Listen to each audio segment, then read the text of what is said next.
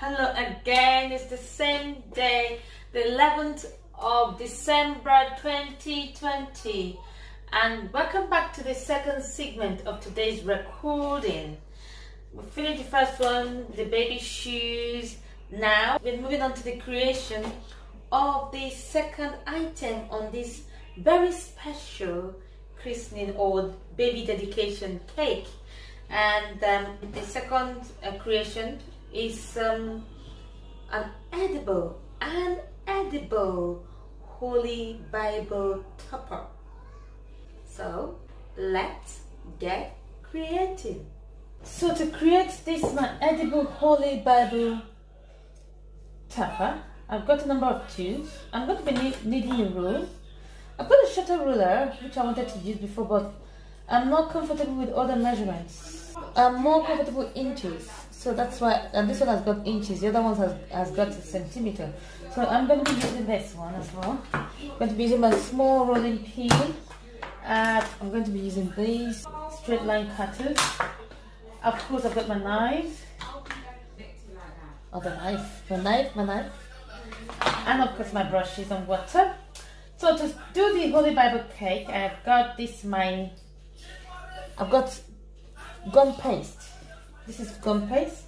And of course I've got my Trex. I'm going to be using Trex just to prevent any stickiness on my hand and on the mat.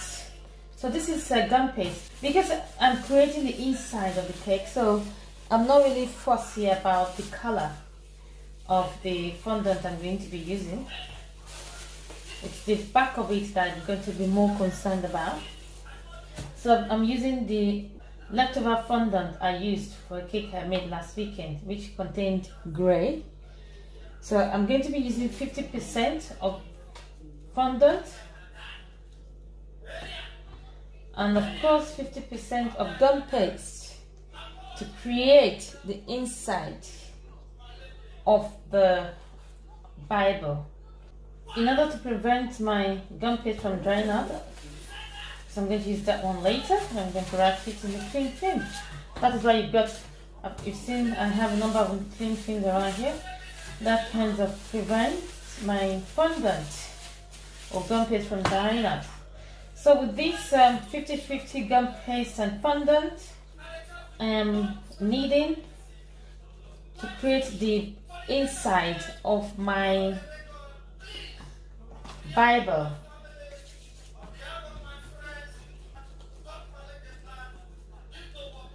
How did I get to learn how to do this? I had a, a christening cake a year ago which had a Bible cake topper and it was the plan that I'm going to buy a styrofoam to cover and create that Bible topper. But unfortunately, when my styrofoams that I ordered online came, they looked more like block so they didn't fit the purpose for which I needed them. So I had to improvise at the very last minute and I thought, what am I gonna do? So I tried to create my own Bible and as a result of a disappointment, I learned. I taught myself. I learned through the process and created my own Bible. And I'm glad I did. Although I spent a, number, a lot of money, I spent about, not a lot of money though, but at least for the, what I didn't eventually use. Spent 20 something pounds for it. Now that's where my measurement comes in. I need 3 inches and 5 inches on the other side, okay? So I need to measure out 5 inches by 3 inches. That's what I need to do. Because my cake is 6 inches, the topper, the top tier of my cake is 6 inches.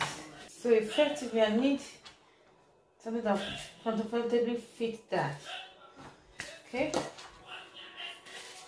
This is more than six. Uh, I'm going to cut it because I need to cut it five by three. 5 inches long and 3 inches in width. I am cutting out my rectangle in 5 inches long by 3 inches width in shape and molding it and shaping it to make sure it is properly defined in the desired shape required. I'm not using any templates, I'm just using my idea to get the desired shape I want. Doesn't need to be big, long as it looks like a Bible. So this is 5 by 3 inches. And then this is where this comes in to create. At this stage, I am using the uh, tiny strip cutters to create pages indentation on the three sides of the cutout rectangle. you just need enough to wrap or cover the, the block we created.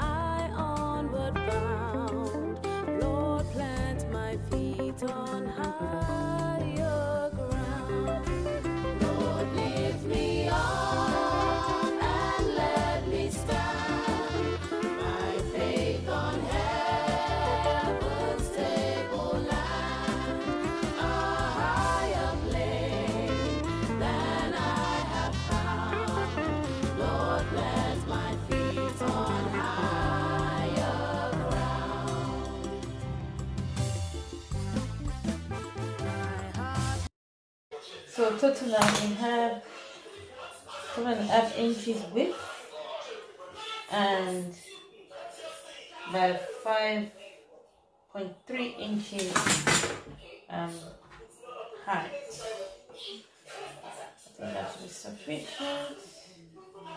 Yes, it is.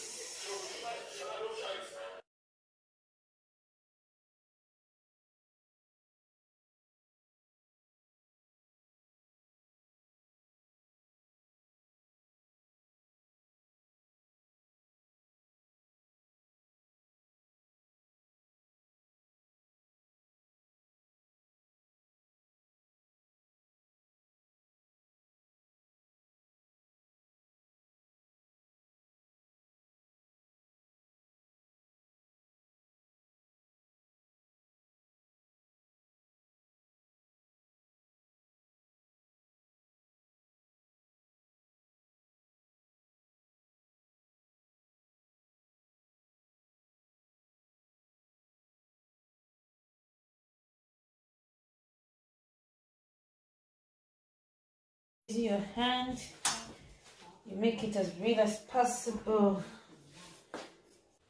I am using one end of my ruler to create indentations for the spine and the back of the book.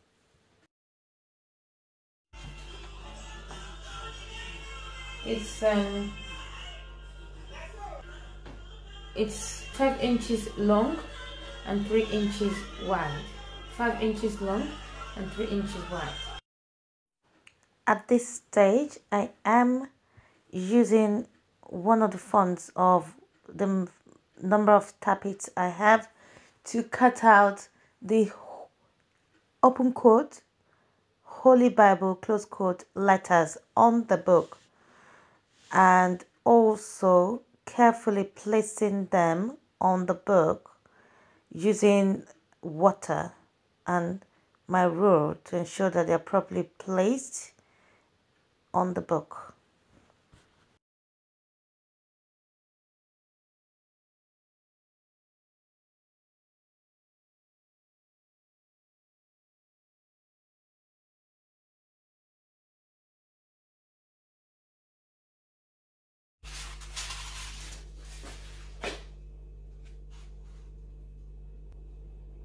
That's going to be painted gold.